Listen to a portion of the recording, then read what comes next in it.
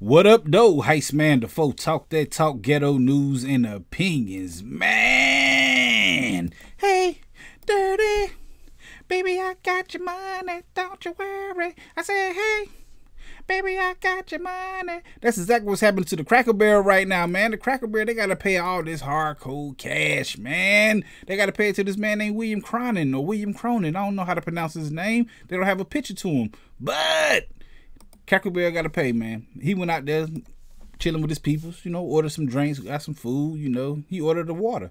When his drink came, it didn't taste the same. Mm-mm-mm. That's what had in there, man. They had hand sanitizer inside of his drink. Like I said, I don't know what color this dude is. I don't know nothing about him. They didn't put a pitch up to, but he getting paid, man. This happened back in Tennessee. This happened in 2014 uh, in April sometime, man.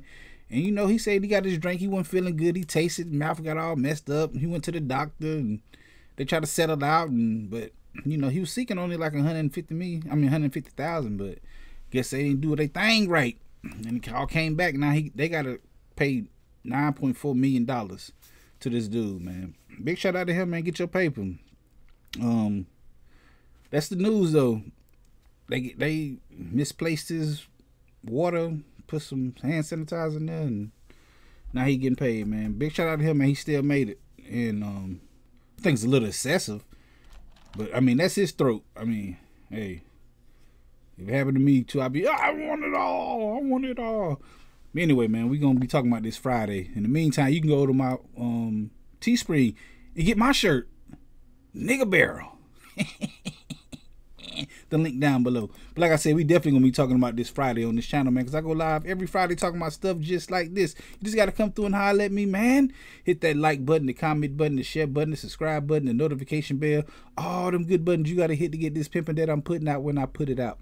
And like I said, I go live every Friday at 9 p.m. Come through, join the conversation, and holler at your boy. Heist Man the Foe. Talk that talk, ghetto news and opinions. Peace.